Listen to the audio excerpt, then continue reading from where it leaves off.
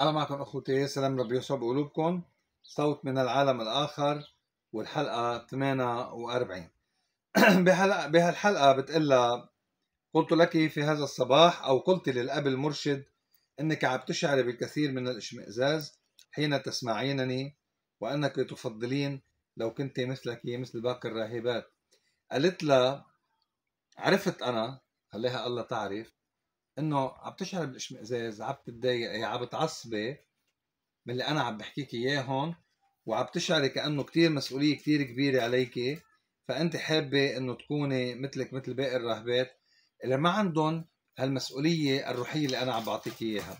فما عندهم المسؤوليه الروحية اللي أنا عم بعطيك إياها اللي رب عم يعطيك إياها.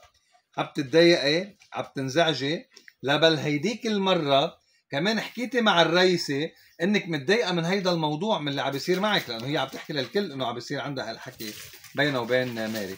فإذا قالت لها للرئيسة قالت لها قلتي للرئيسة ورجعتي قلتي للأبونا وعم تحكي مع رفقاتك إنه أنت متضايقة على الأمور اللي عم بتصير معك. أنا بدي أقول لك ليش أنت هيدا كله مش هو الله اللي بده إياه والله سامح إنه أنت اختارك حتى تعملي هيدا الأمر.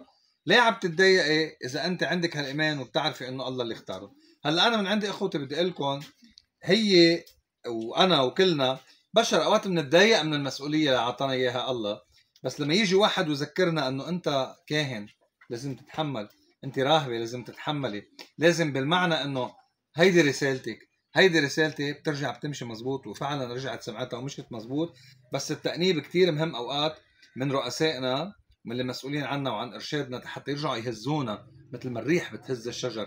نحن بكنيسة اليوم مفروض كنيستنا هي إنه آه تكون عم بتهز العالم مش عم بتمشي العالم الكنيسة مش إنه اي يلا مثل ما بدكم آه صارت هالموضه بنمشي فيها. لا نحن بدنا نهز العالم تيضلوا ماشيين على الطريق الصحيح. قالت لها إنك لحد هلأ لم تسمعي بعد كل ما ينبغي أن تسمعي.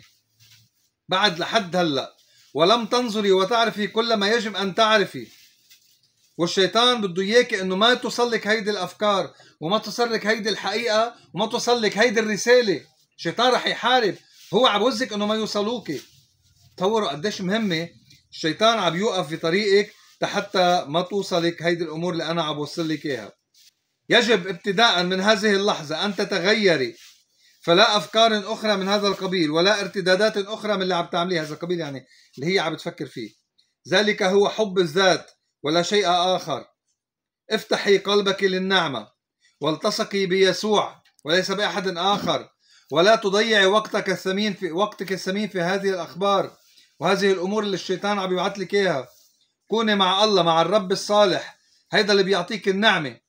وهيدا هو مصيرك إنه تكوني بالسماء. ما تردي على الشيطان وعلى الأمور اللي عم بيقول لك إياها دايما. يعني الشيطان عم يحاربها نحن ما قلت لنا شو عم بيقول الشيطان بس هي عرفت وطبعا فهمت عليها شو عم بيقول لها ويبدو إنه ما بدها تذكرهم هون آه، قدامنا. خليكي مع مرشدك ليرشدك للأفضل وقولي للأب بالمواعظ اللي عم اللي عم يوعظها يحكي الشغلات من اللي عم بتصير معك واللي بتخصك. يسوع هو الرب وهو رتب لك ذلك. استغل الفرصة وكوني أنت المختارة مثل ما اختارك. كوني من رجاله من أبنائه. شوف شو حلو يسوع اختارك ما تخيبي أماله. الله معكم